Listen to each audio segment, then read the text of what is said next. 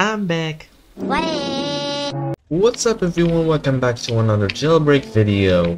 Today's video guys, we are gonna be showing you the best grinding vehicles inside of Roblox jailbreak. And before we begin guys, make sure to leave a like and subscribe. And it's important to join my Discord server because I've hosted a giveaway for 70 Robux. So one of you guys will win it and good luck. But we gotta hit 60 members on my server, so that's when the giveaway starts. And yeah, let's begin! Also, you guys should know that the vehicles in here are gonna be ranked from low tier to the highest tier by pricing. And yeah, let's begin right now. Okay guys, the first and cheapest car you can grind with is the Model 3. The Model 3 is the best car for starters. You can find it and the second uh, you know uh, street safe uh, only costs 15k and i don't recommend buying it from the uh, street safe since it's a gamble and it only costs uh, the vehicle itself only costs sixteen thousand dollars. Also guys if you want to find this car it's right behind the bank and as you can see it's right here. That's why guys. This thing is quiet its engine is quiet it really has a good top speed of 150 miles per hour good acceleration good handling and braking and everything like that. It brakes almost instantly just like this.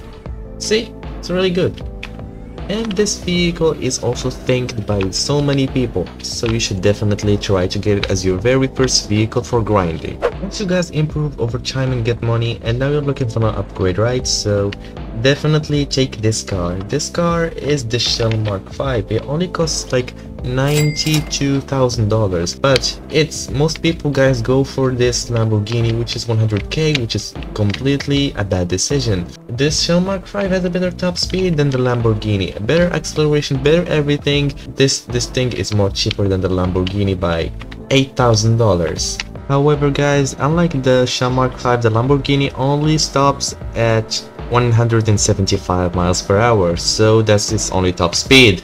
And as you can see guys here, the Mark 5 can go up to 185 miles per hour, possibly can go 190 or even 200 if you're going downhill or you're going on a very straight road, unlike this here guys. They probably should expand this a bit and make it longer. The third car guys I recommend using is the Roadster. The Roadster guys is a very very good car the fact that it's an electric car, it really can go very very quickly because of its acceleration and the top speed can reach up to 215 miles per hour, which is not a lot for some of you guys, but trust me, the acceleration and handling is the best. Now the third vehicle and the cars we have on the list is the Volt bike. The Volt bike is pretty much like the Roadster, but it has better acceleration, better, uh, better top speed. No, no, no, no. They have the same top speed. However, guys, this car costs one million dollars, which is pretty ironic due to, to the fact that it cannot pitch maneuver any vehicle because it's obviously an overpowered bike. But I think guys the Volt bike is mostly gonna be useful for the criminal team if you want fast grinding, power plant runs, if you're a good driver and want to do the power plant this vehicle can get you like uh, 6000 if you turn in the money of the uranium you know that thing. Next up guys and the final car is the concept. The concept guys is known to be the most expensive car in the whole game but it's not expensive for nothing.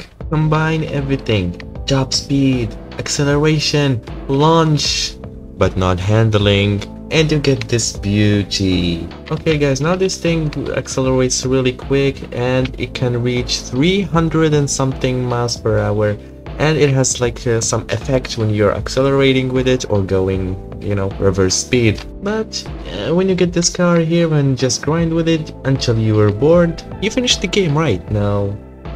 What should you do now also guys, the concept has another feature besides its accessibility, which is 2.5 million, which is worth it. The concept is a really good car for trading. You can get some limited cars using it if you're a good trader.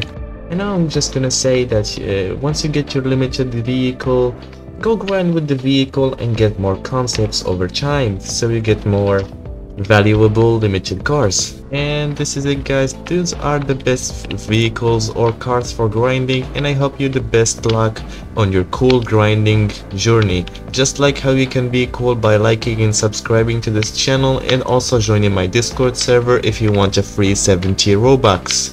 The discord server link will be of course in the description and I will see you guys in the next video. Stay cool, bye bye! Woo!